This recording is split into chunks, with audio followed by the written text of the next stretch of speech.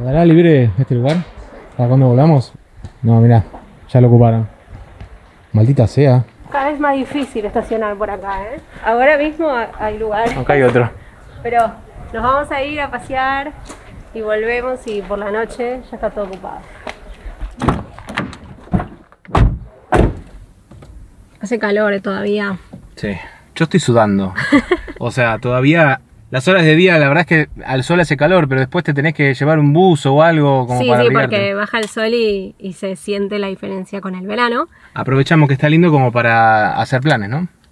Y como dijimos en el video anterior, una de las cosas que nos encanta de acá vivir en Alicante es que estamos al lado del Mediterráneo, pero es muchísimo más, hay un montón de cosas para hacer. Sí, por eso aprovechamos cada fin de semana para hacer planes y seguir conociendo, porque aunque ya conocemos un montón, todavía queda mucho. Pero hoy vamos a repetir, vamos a volver a un lugar que nos encanta y que todavía no se los hemos mostrado. Así que vamos. Vamos.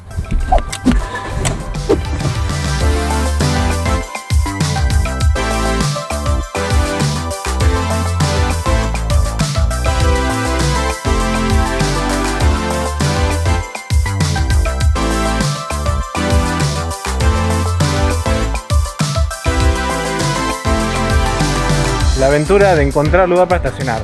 Ay, Dios. Cada vez que vinimos a la vila, siempre encontramos sin problema. Ahora no sé, se vinieron todos a pasar el día. El parking me parece que más gente tiene normalmente, ahora está cerrado porque están filmando una película, según dicen, ¿no? Sí. Por ahí, por eso no hay lugar en todos lados, no sé. Un montón de tiempo buscando. Nos veníamos quejando de eso de la ciudad de Alicante. Quiero decir algo. Lo bueno de la mascarilla, o del barbijo, o del tapaboca, además de salvar vidas, obviamente, te tapa la cara de cansancio y de, de detonación. Ah, Y está muy bueno.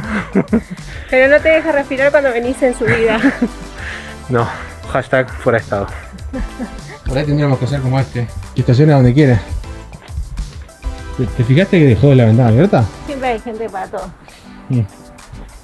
Bueno, empezamos a recorrer la vila. Sí, dale.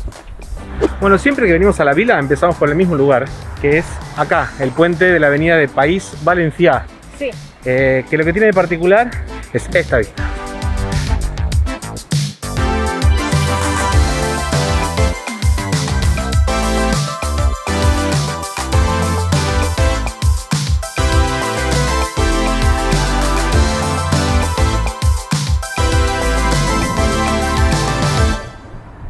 Siempre nos gusta llegar y ver esa imagen como lo primero de la vida joyosa. Es más, a la gente que, que- que trajimos, siempre le hacemos el mismo recorrido. Creo que no me. No, no, va, Cavani no me va a dejar mentir. No, es cierto, es cierto. Siempre empezamos por ahí y después nos adentramos acá, que es el casco histórico, para llegar a la frutilla del postre, que es el mar y el paseo que está ahí en el mar.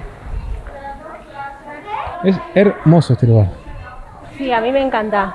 La vila está a media hora más o menos en coche de la ciudad de Alicante, entre el Campello y Benidorm. En la vila joyosa está la fábrica de chocolates Valor, que es una de las chocolaterías más importantes del país. Y es muy loco porque cerca de la fábrica huele a chocolate y abajo de la fábrica hay un parking que una vez estacionamos ahí y era increíble cómo olía chocolate, ¿no? De hecho, en la ciudad a veces, en el pueblo, digo, a veces se huele.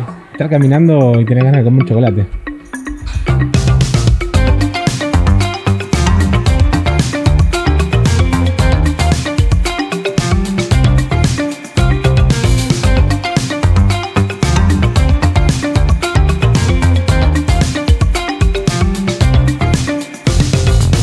La vila era un pueblito pesquero y nos contaron que las casas son de colores para que los pescadores las puedan reconocer desde el mar.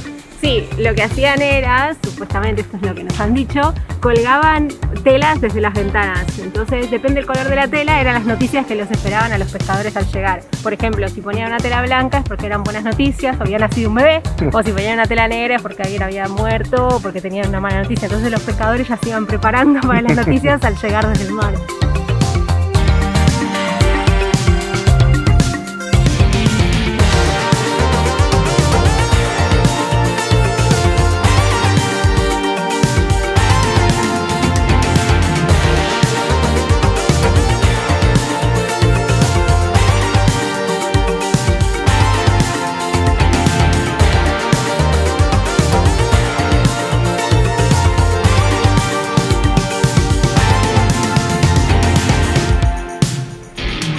La verdad que a la vila le tenemos un cariño especial. Es porque este fue el primer pueblo que, que visitamos apenas llegamos, ¿no? ¿No?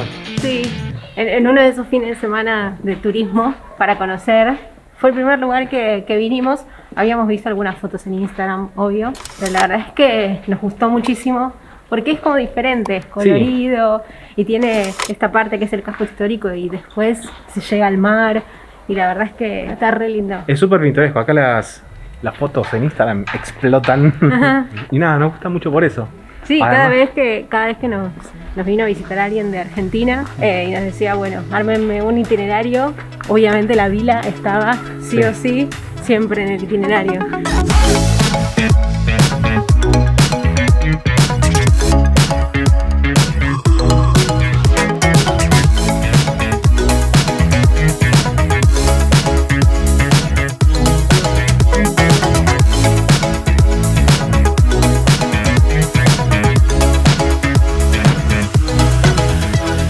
Claramente, si bien hay mucha gente que vive acá en el pueblo, sobre todo acá en la parte amurallada, normalmente se llena de gente cuando hay mucho, bueno, mucho turismo en una época normal, ¿no?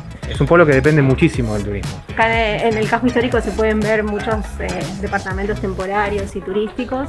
Toda la parte de abajo del mar está toda preparada con re- restaurantes y bares y todo eso. Como que todos los pueblos de acá de la costa, de la costa Blanca. de la costa blanca, dependen mucho del turismo, por eso esta nueva normalidad, esto, esto que pasa ahora mismo está como complicando a todos los pueblos por igual. Así que nada, vamos a ver cómo, cómo sigue todo, como para que, nada, qué sé yo, de alguna manera todo vuelva a la, a la normalidad en esta realidad nueva que tenemos, que Sí, la verdad, que tengamos un poco de mejores noticias. sí, totalmente. Pero bueno, para alegrar el día, nos estamos yendo para la que a mí es la parte que más me gusta de Sí, la a mí vida, también, ¿eh? Ojo. Porque obviamente el Mediterráneo siempre le da vida a todo, pero esta parte es para terminar el paseíto siempre es acá, tomando algo frente al mar. Que creo que esta vez vamos a tomar unos mates. Sí, sí, esta vez termina con unos mates frente al mar, pero bueno, disfruten esta belleza.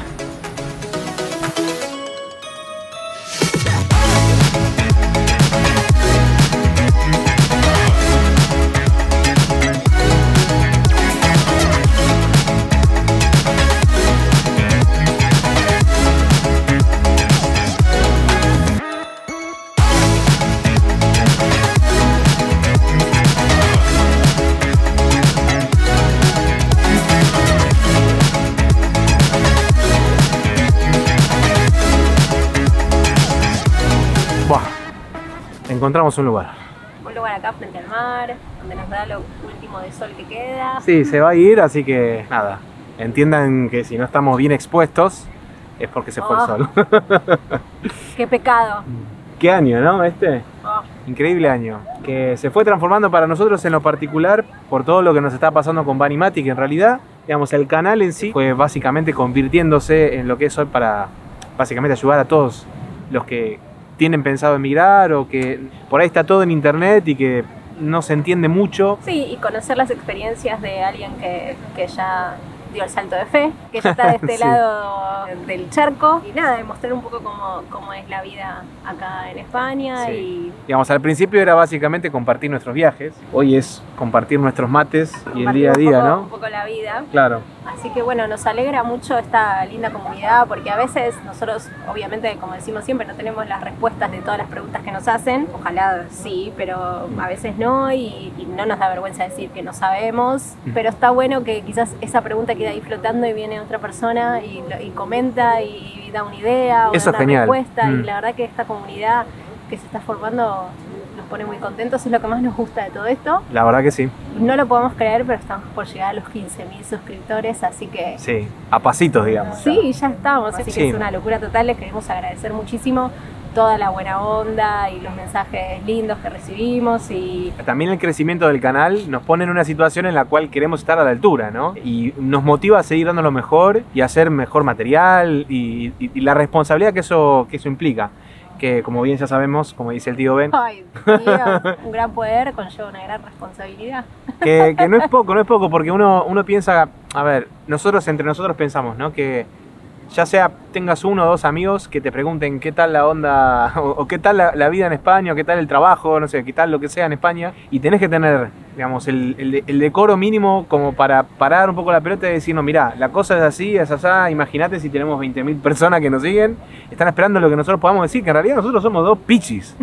Esa es la Que verdad. solamente contamos nuestra experiencia y obviamente, como decimos siempre, desde nuestro lugar, nuestra forma de ver la vida. Así que nada, no- no- nos abruma un poco que confíen tanto en nosotros. Pero nos motiva. Por otro lado, nos pone contentos Ujú. porque eh, se ve que traspasa la pantalla como somos. Y eso nos pone muy, muy, muy contentos y muy felices. Sí, así que bueno, vamos a pensar qué hacemos para los 15.000. O para los 20.000 en realidad, porque creo que en este momento estaríamos llegando a los 15.000. Eh, Bueno. Probablemente estaría bueno hacer un vivo Podemos hacer un vivo en, En YouTube, ¿no? Sí.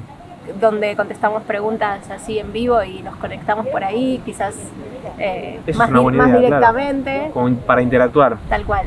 Así que eso puede ser. Bueno, como siempre, estén atentos. De hecho, si, si quieren, si les parece una buena idea esto del vivo, nos pueden dejar en los comentarios. Ojalá pudiéramos sortear un viaje todo incluido. Bueno, Ya, ya va a venir. en algún venir. momento cuando, cuando se pueda viajar, ¿no? Sí. Mientras y mientras no nos vuelvan a encerrar, nosotros vamos a seguir mostrando cómo es la vida acá. Y esperamos que nos acompañen en este, en este gran viaje de nuestras vidas, que es habernos venido a mudar acá a España. Así que nada, ya saben, si les pareció copado el video, si les gustó, denle like. Partan, suscríbanse y ya saben todo lo que tienen que hacer. Y gracias por todo, gracias por estar del otro lado. Y como siempre, nos vemos en la próxima. Nos vemos en el próximo. Chao.